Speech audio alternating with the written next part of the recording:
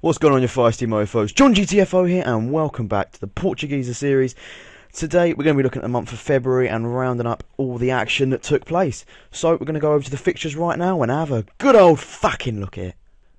The definition of domination is Porto versus Old Hansians, whatever their fucking name is. 4 0 win here. James Rodriguez and Wagner Love getting a hat trick for us. Big boy! 21 shots, 7 on target, and 54% possession. They only had 5 shots on target, and you can do the math with the 100% possession there. Uh, we're still not pulling in that much attendance. I'm not going to lie. It's kind of disappointing that we're not the most watched team in Portugal. I think it's Benfica and then Sporting Lisbon, then us for some reason. I don't even know where they're Porto are even based. So it might be in a really shit populated area, but I thought all the Glory Hunters would have a couple of times to come down, but no, you know, whatever. I think this is a League Cup game. I'm honestly not that sure. But we end up winning 5 2 against Vic Guimarães, which is my fucking bogey team on there. Fucking hate them so much. The only team I've lost to so far. It wasn't even at home. It's third day's Group B. Fuck knows what that means.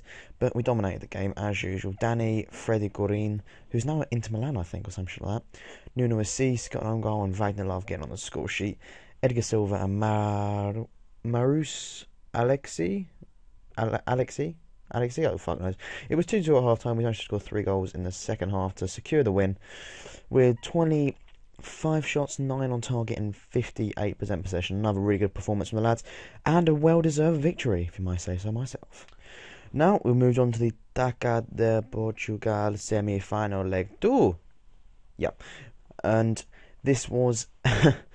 this pretty much secured the win for us. We were 3 0 up from the first leg and managed in the second leg 4 2 away at Porto. Almost said Porto because as P O R in Sporting's name, just there for some reason. But Sporting scored with Anderson Polga and Marata Izamalov. I'm assuming Hulk Wagner getting on the score sheet. Hulk missed a penalty for his hat trick which is an a piss take. It would have been great for him to get a hat trick, but we did actually get dominating possession this game.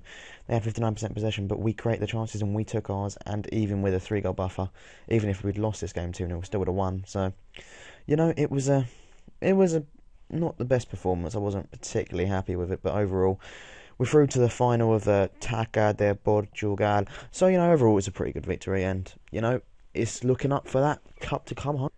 This game was a lot closer than it should be. Danny Leo getting his first goal for the club and Stephen Defoe getting it, but Peter Franquart made this game a little bit more interesting in the second half by getting a goal for Real Ave, who we have smashed in the past. I think 7 0 once, I think. I'm not sure, it might be in the future.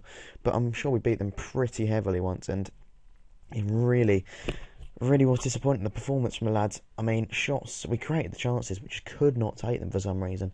Was Wagner playing? Was Hulk playing? What, what was going on? Kleber. That's fucking why Kleber and Rodriguez were playing. That's why I didn't fucking score, man. Eh? That's why I had to buy Wagner Love because Kleber's fucking dog. Oh, I'd fucking take anyone over that piece of shite. Hopefully, going to get rid of him the second season if I can get a replacement for him.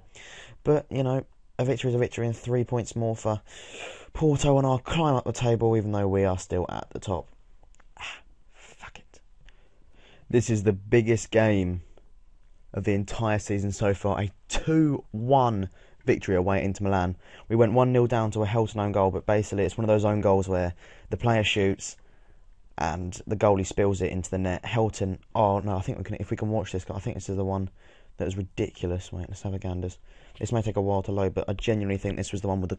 He crossed it in and Helton fumbled it into the net even though it wasn't going in. This may take a while to load. God knows. I'll just talk over it for a while. Oh no, here we go, here we go, here we go, here we go, here we go. Setting up match. This is good. But yeah, 2 1 away into Milan. It's such a big game. We managed to get two away goals. So if we even even if we lose against Inter Milan at home, which I don't want to do anyway, if we lose 1 0 against Inter Milan, it means we still go through. Oh, come on, set up the fucking goal. I think this is the most embarrassing own goal of all time. Here we go, here we go. Milito running down the wing. I don't know how much you can see this, but Milito runs down the wing, crosses it in, it's not going in, and Helton puts it in the net. If he wasn't captain, I would have genuinely sold him for that, but he's been solid all season, so he might get a bit of a leeway for that, considering we still won. But Dede getting a goal, and Wagner Love getting a goal, and Javier Zanetti getting sent off probably won us the game. Him getting sent off in the 44th minute probably won us the game. I'm not gonna lie to you because otherwise Inter Milan were pretty much all over us for that first couple, first couple of minutes. But as soon as Dede got the goal from the corner, it kind of kind of changed around. But Zanetti going just fucking oh unleashed the fury of Porto on you lads. I mean, you can see by the chances created, the sh- shots on target, and then the 54% possession that we actually should have won this game and we deserve to win.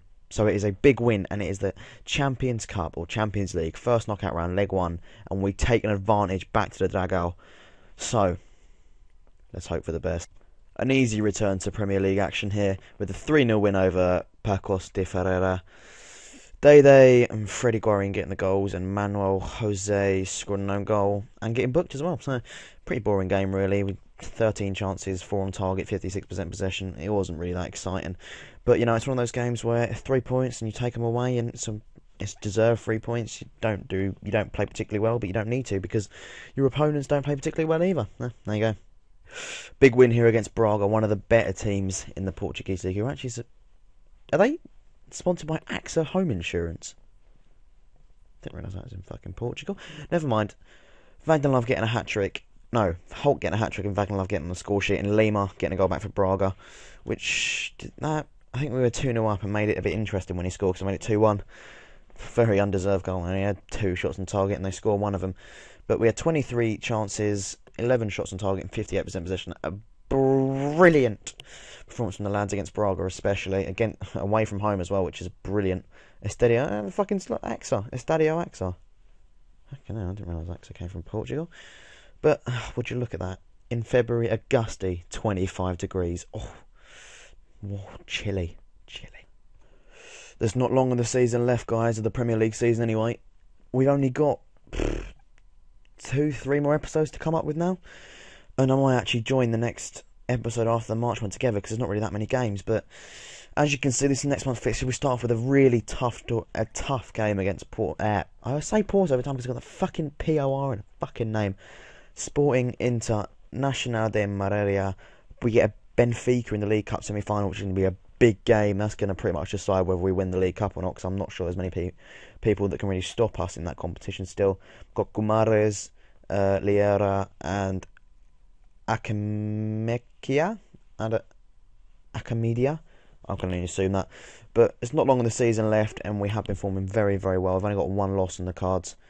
Two, uh, one of them against Barcelona, so I'm going to ignore that. And we've got a draw against Whistler, crack one off. So this is this is it. This is it, lads. It's going to be an interesting episode. It's going to be the Inter game that's going to decide really what's going to happen in the Champions League. I mean, we've got a pretty unfa- unfavourable draw, to say the least, to get into Milan. But it is at home, it is at the Dragao, but it is very, very close to the sporting game. And there's going to be a lot of players probably need to be rested the sporting game, which could risk some.